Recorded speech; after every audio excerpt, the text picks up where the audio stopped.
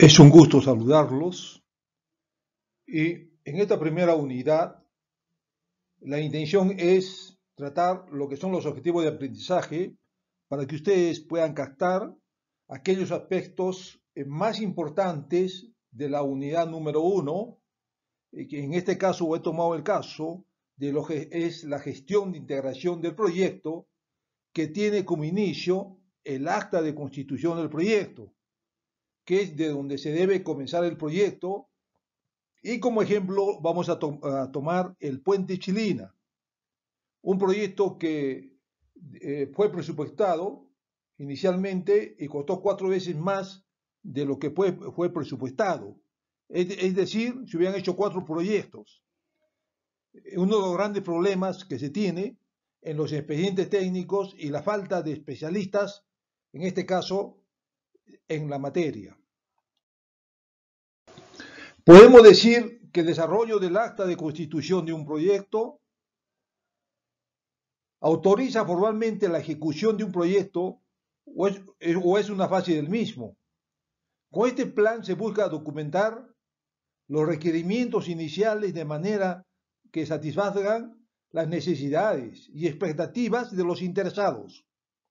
Es fundamental que el desarrollo del acta de constitución del proyecto se instaure o instaure en este caso una relación de cooperación entre la organización ejecutante y la organización solicitante. Al momento en que se firma el acta de constitución del proyecto, se considera el inicio formal del proyecto. Luego se procede a seleccionar y asignar al director del proyecto, lo cual debe realizarse antes de la planificación.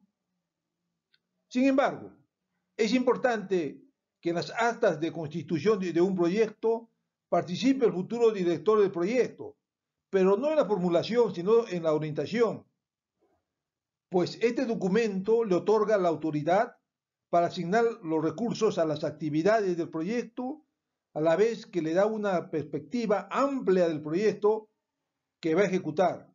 Por lo tanto, diremos que el proyecto se inicia formalmente con la firma del acta de constitución del proyecto aprobado. Si no existe este documento, no se debe dar inicio al proyecto. Tiene como entradas el enunciado del trabajo del proyecto, el caso del negocio, los acuerdos, los factores ambientales de la empresa, los activos de los procesos de la organización y como herramientas y técnicas el juicio de expertos, técnicas de facilitación y salida del acta de constitución. ¿Y, a qué nos referimos en este caso? En el caso del enunciado del trabajo del proyecto, debemos de hacer una descripción narrativa de los productos, los servicios o resultados que se debe entregar o debe entregar el proyecto, las necesidades del negocio, descripción del alcance del producto y el plan estratégico. En el caso del negocio, este proporciona la información necesaria desde una perspectiva de negocio para determinar si el proyecto es viable o no en términos de, la inversión requerida.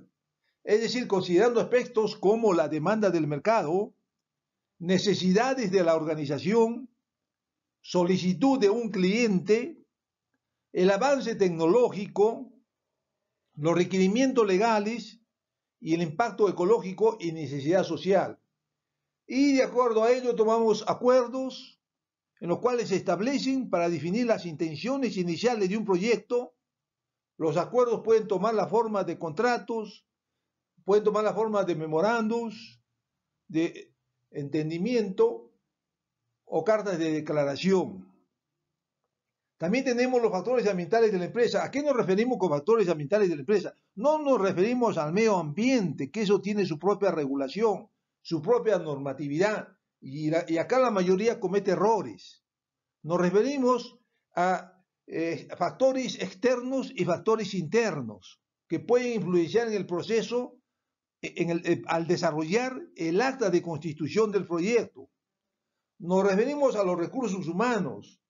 Y acá nos estamos refiriendo al liderazgo. Nos estamos refiriendo al trabajo en equipo, al clima laboral, a la cultura organizacional, a la visión, a la misión, la política, la estrategia que tiene la empresa, sistema de autorización de trabajo, los canales de comunicación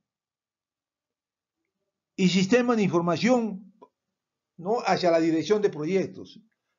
Si se dan cuenta, y también nos podemos referir a factores externos, que puede estar referido a lo que es el mercado, que puede estar referido a lo que son las políticas fuera de la empresa, las normatividades que son cambiantes, ¿no? Etcétera. Y también tenemos lo que corresponde a los activos de los procesos de la organización. ¿Y a qué nos referimos con ello?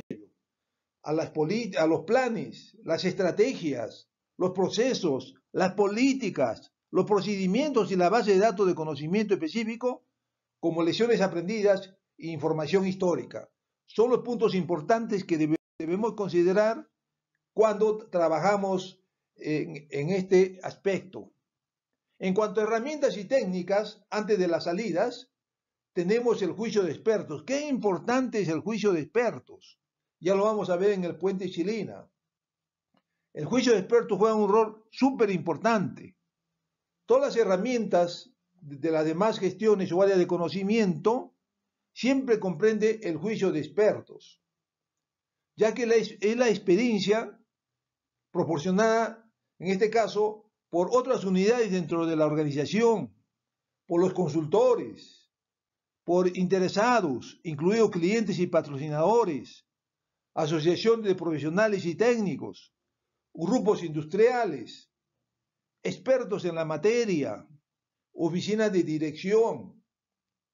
Generalmente, yo les digo cuando estaba en el extranjero, por ejemplo, en Inglaterra existe la famosa TARMA, que trabajó con el proyecto MAGES, en el consorcio del proyecto MAGES. Ahí todos los tienen especialistas en cada una de las actividades. Por ejemplo, tiene un especialista en puentes, tiene un especialista en coliseos, tiene un especialista eh, eh, eh, en puertos. Y casualmente mi sobrina se casó con, con, un especialista en puertos que lo conoció Matarani, ¿no? Que trabaja en la Tarmas y se va todo y recorre todo el mundo porque hay gente que aprende a través de la experiencia y demostrando su conocimiento, hacen obras de buena calidad. En este caso, cuando se hizo el puente Chilina, se tomó gente que hizo el estadio de la UNSA, pero muy diferente de hacer un estadio de la UNSA que un puente.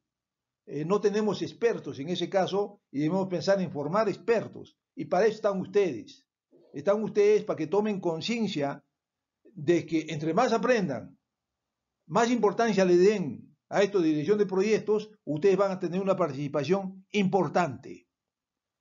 También tenemos lo que es técnica de facilitación, que tiene una amplia aplicación en el ámbito de los procesos de la dirección de proyectos y guían el desarrollo del acta de constitución del proyecto. Acá lo hacemos mediante el brainstorming o tormenta de ideas, no vemos eh, cómo piensa la gran mayoría, qué es lo que piensa, escogemos las ideas que, nos parece adecuadas, la resolución de conflictos, la solución de problemas, ¿no?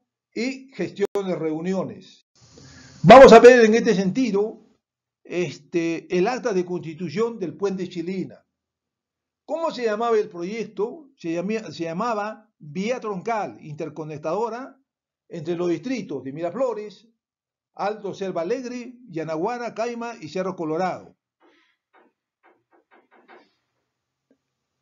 Y cuando describimos el proyecto, como ustedes lo pueden visualizar, ¿no? en la descripción del proyecto hay que considerar lo siguiente, el qué, el quién, cómo, cuándo y dónde. En este caso, el proyecto del puente Chilina es un componente de un proyecto vial integral que tendrá un impacto significativo en la ciudad de Arequipa a través de la suscripción de convenios entre los gobiernos regionales o gobiernos locales y empresas privadas.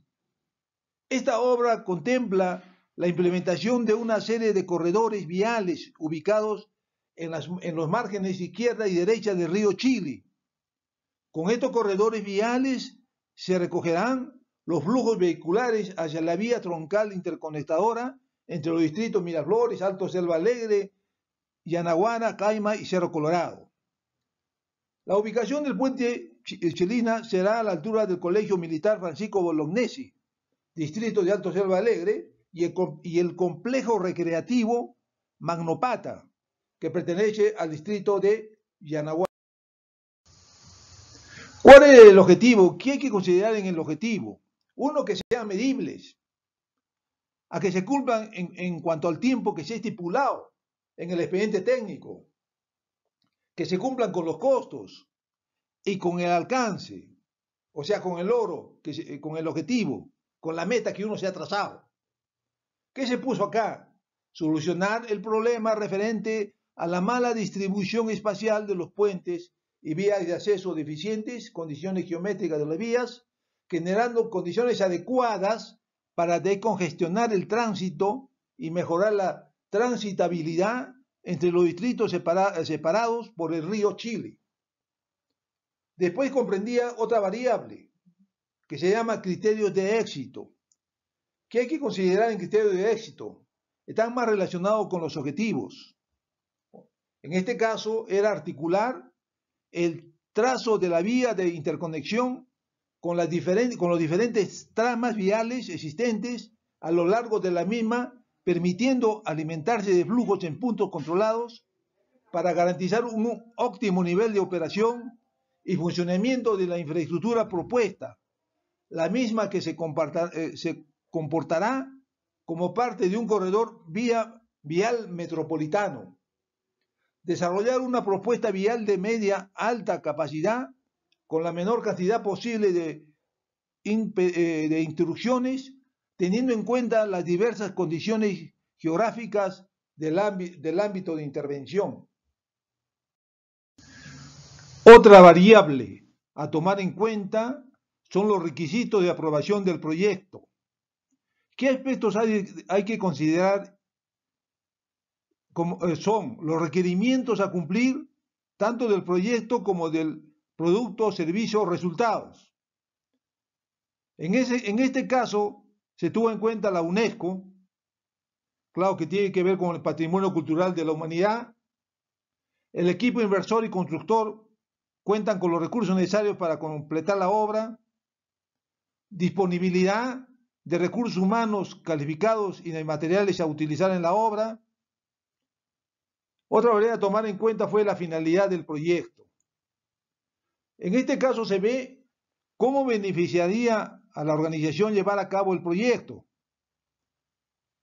Se consideró atender las deficiencias en infraestructura vial, descongestionar el tráfico del centro histórico, cuyo casco monumental se ve afectado por el alto índice de contaminación generado por el servicio de transporte urbano.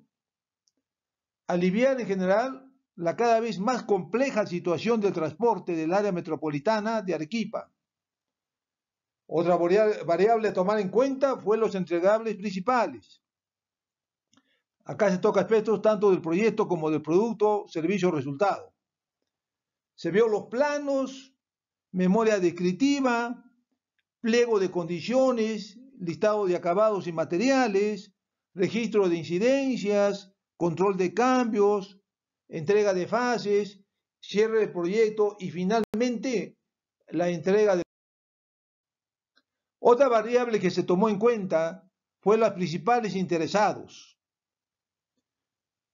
En este sentido, junto con el rol que desempeñan organizaciones ejecutantes, patrocinadoras o promotor, cliente, usuario, se consideró al consorcio constructor Puente Chilina como Isoluz, Corsan, Metris Engineers y Inco, contratistas generales. También se tomó en cuenta la población arequipeña, gobierno regional, los gobiernos locales, el CDR y sponsor. Otra variable a tomar en cuenta fue los riesgos iniciales, es decir, las amenazas y oportunidades principales. En este caso se vio el impacto que esto llevaría ¿no? para tratar de eliminar el caos del actual transporte motorizado y la contaminación del medio ambiente de la ciudad de Arequipa. Otra variedad a tomar en cuenta fue la duración de los hitos, es decir, el cronograma de hitos, fechas previstas y o plazos.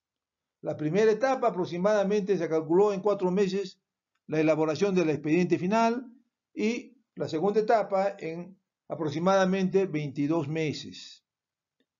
El, el, inicio del hito fue el 4 de diciembre del 2015 con la firma del contrato de obra.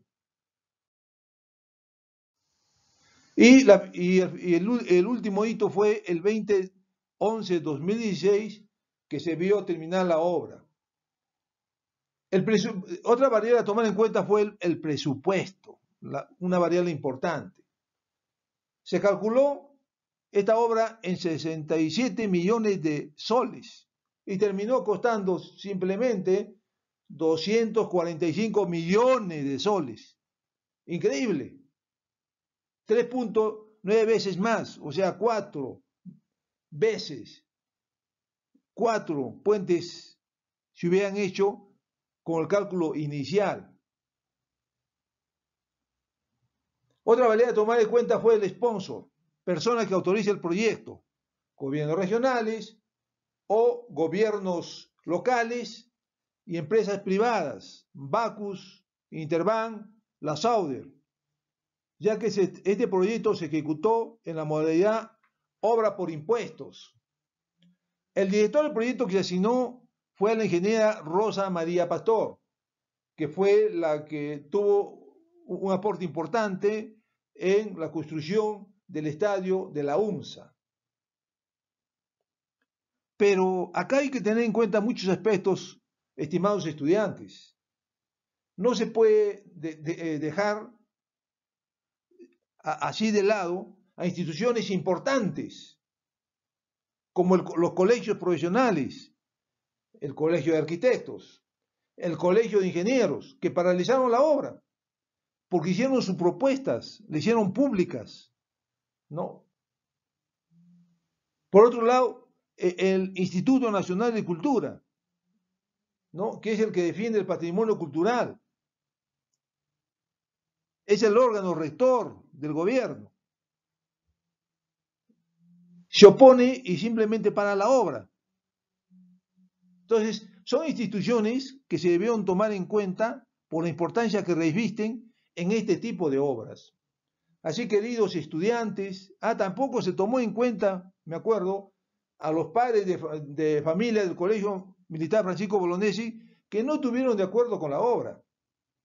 Entonces, si se dan cuenta, hay que considerar a todos los interesados, porque eso puede paralizar la obra. Creo que este ejemplo le va a servir a ustedes como un ejemplo ilustrativo para que no cometan los mismos errores si es que alguna vez ustedes tienen la opción de ser directores de proyectos que yo, así como lo veo, van a tener muy buena acogida en el mercado, ¿no? si lo ven con la, madurez del caso y se esfuerzan por ser excelentes alumnos, finalmente excelentes profesionales, con una clara preparación y sobre todo la preparación que se le da en la Universidad Continental con la calidad deseada. Muchas gracias.